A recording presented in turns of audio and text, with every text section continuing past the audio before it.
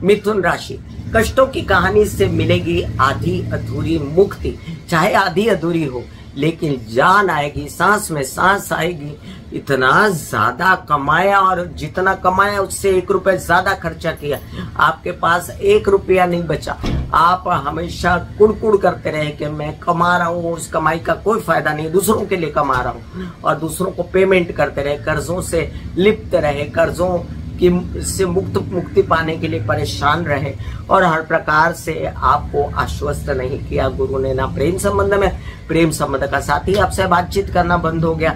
विदेशों से रिलेटेड काम आपके लटक गए और आप इन सब बातों को लेकर बड़े ही बेचैन थे कि गुरु हो गए वक्री। अब गुरु कौन है? आपके चंद्र गुरु या आपके शत्रुओं में आते हैं और क्योंकि गुरु आपके सप्तमेश भी हैं तो ये आपके क्या कहते हैं मार्केश भी बनते हैं, लेकिन गुरु के, गुरु जीव होने के कारण वो किसी की जान नहीं लेते तो इससे तो आप बिल्कुल आश्वस्त रहिएगा, लेकिन इनमें कैपेबिलिटी होती है कि ये आपको हॉस्पिटल पहुँचा दे।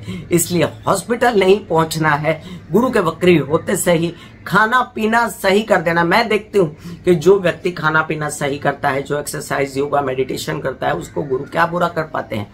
कुछ नहीं। क्योंकि गुरु जो यहाँ पर बैठे हैं, शुक्र के घर में महालक्ष्मी का पूजन कीजिए और साथ साथ आप ओम महालक्ष्मी नमा के पाठ कीजिए और डिस्क्रिप्शन में लिंक डाला मैंने और पैसों के विषय में सोचिए सरकार अब। पैसे आने वाले हैं, क्योंकि पंचम जाएगा, सप्तम भाव का स्वामी तो व्यवसाय बढ़ेगा और साथ साथ आपके व्यवसायिक पार्टनर विवाहित जीवन के पार्टनर पिता समान लोग या बड़े भाई बहन, इनसे मिलकर आप धन कमा सकते हैं।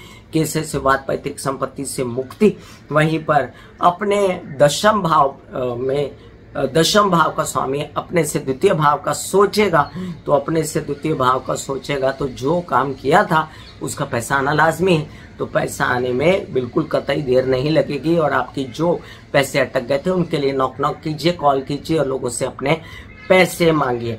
यहाँ पर एक बात को हम बिल्कुल भी नहीं भूल सकते कि अपनी तबीयत को विशेष ध्यान रखना है और जब तबीयत का ध्यान रखेंगे तो साथ साथ में ये भी ध्यान रखें कि कोई ऐसा खर्चा जो आपके सिर पर आन पड़ा है और जिसकी ज़रूरत नहीं है तो नो बोलना सीखिए। सी नो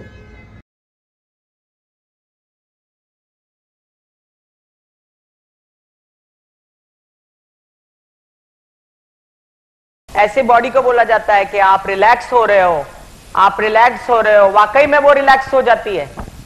फिर आप अपने एक एक अंग को बोलिए, आपकी शिखा रिलैक्स हो गई है आपके बाल रिलैक्स हो गए, आपका माथा रिलैक्स हो गया, आपकी आँखें रिलैक्स हो गई, ऐसा मैसेज दीजिए। ये आपका शरीर है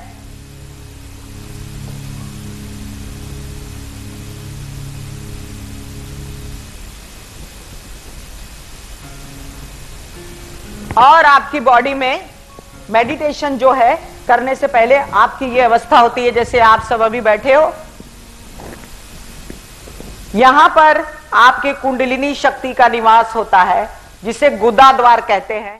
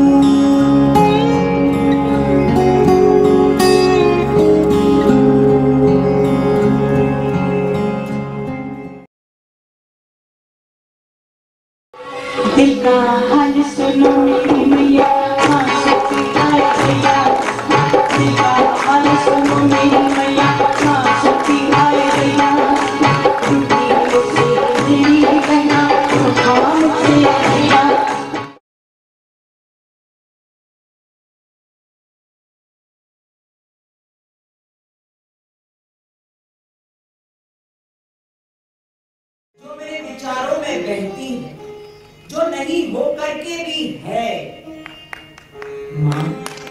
देखिए चलो, ख्यालों में ही सही। नींद न सही, जागती आँखों का सपना ही सही।